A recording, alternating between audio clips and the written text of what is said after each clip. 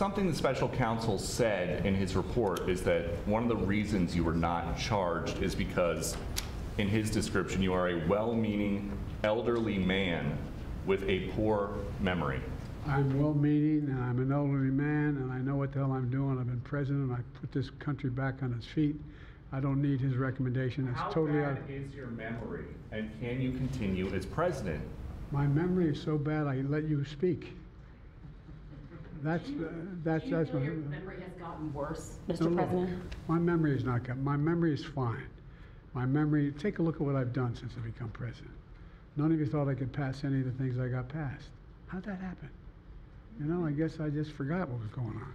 Mr. President, Mr. President. I take responsibility for not having seen exactly what my staff was doing.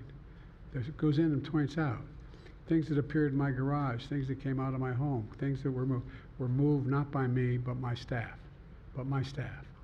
Mr. President, Mr. President, Why did you share Mr. classified President, information with Mr. President. Mr. President, Mr. President, for months when you were asked about your age, you would respond with the words, "Watch me." Watch. Many American people have been watching, and they have expressed concerns about your age. That is They- your judgment. they- That is your according judgment. to public That is not the judgment of the press. They express concerns about your mental acuity. They say that you are too old. Mr. President, in December, you told me that you believe there are many other Democrats who could defeat Donald Trump. So why does it have to be you now? Why, what is your answer to Because that I'm the most question? qualified person in this country to be president of the United States and finish the job I started. Do you, believe that, do you believe that, do you believe that, guys? Why are you confusing the names of world leaders? Thank you, everyone. Thank you very much. I did not share classified information. I did not share it. With your ghostwriter. With my ghostwriter, I did not. Guarantee you did not. But the What special counsel said in Well, the no, report he that he did did. not say that. Okay. He did not say that. But, Mr. President, one Well, of let, let me Okay, answer thank- your question. The fact of the matter is, what I didn't want repeated, I didn't want him to know, and I didn't read it to him, was I had written a long memorandum to President Obama why we should not be in this, in Afghanistan, and I was of this, multiple pages. And so what I was referring to, I said classified. I should have said it was should be private because it was a contact between the president and the vice president as to what was going on. That's what it is referring to. It was not classified information in that document. That was not classified.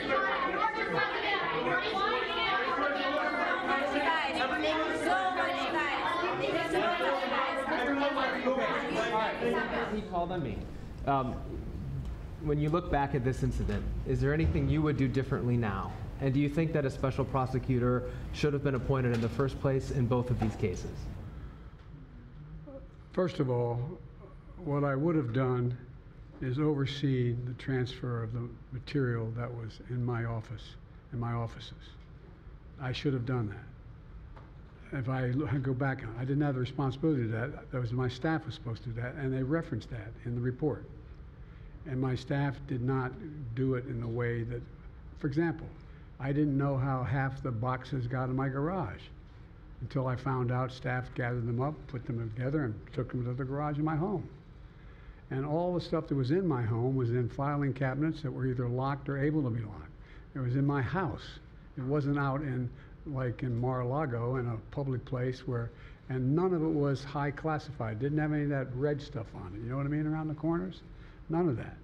And so I wish I had paid more attention to how the documents were being moved and where. I thought they were being moved to the archives. I thought all of it was being moved. That's what I thought.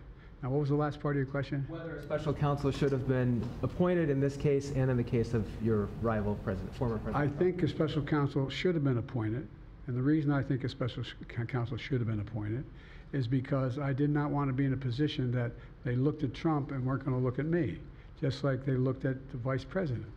And the fact is, they made a firm conclusion. I did not break the law, period. Thank you all very, very much.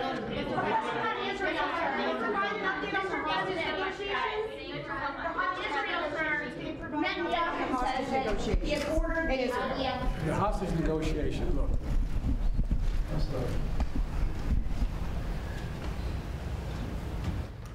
I'm of the view, as you know, that the conduct of the response in Gaza, in the Gaza Strip has been um, over the top. I think that, uh, as you know, initially, the president of Mexico, Sisi, did not want to open up the gate to allow humanitarian material to get in. I talked to him. I convinced him to open the gate. I talked to Bibi to open the gate on the Israeli side. I've been pushing really hard, really hard to get humanitarian assistance into Gaza. There are a lot of innocent people who are starving, a lot of innocent people who are in trouble and dying. And it's got to stop, number one. Number two, I was also in the position that I'm the guy that made the case that we have to do much more to increase the amount of material going in, including fuel, including other items. I've been on the phone with the Qataris, I've been on the phone with the Egyptians, I've been on the phone with the Saudis to get as much aid as we possibly can into Gaza. There are innocent people, innocent women and children who are also in bad, badly need of help. And so that's what we're pushing. And I'm pushing very hard now to deal with this hostage ceasefire because, as a, you know, I've been working tirelessly in this deal. How can I say this without revealing it? To lead to a sustained pause in the fighting, in the actions taking place in, in the Gaza Strip. And uh, because I think if we could get the delay for that uh, the initial delay, I think that uh, we would be able to uh, extend that uh, so that we could increase the prospect that this fighting in Gaza changes. There's also negotiations, you may recall, in the very beginning, right after, right before Hamas attacked, I was in contact with the Saudis and others to work out a deal where they would recognize Israel's right to exist, let them make them part of the Middle East, recognize them fully in return for certain things that the United States would commit to do.